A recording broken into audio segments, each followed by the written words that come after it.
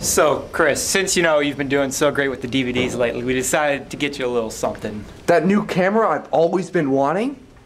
Uh, it's like a camera. Yeah, but um, first, first you gotta close your eyes. Close your eyes. Come on, keep them closed. Close them. Okay. Are, are they closed? Are they They're closed. They're closed. Okay. You ready?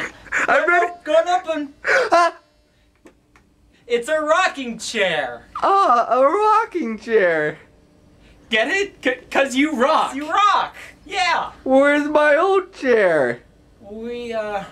We had to sell it. Yeah, and we also sort of had to tap into the budget. How much of the budget? Uh, most of the budget. Nearly all of it. Uh, more than all of it, actually. In fact, there are people right now that want to break your legs. But but hey, you've got What? a rocking chair. Yeah, but we also sort of had to sell our fade to black at the end of this sketch. What now?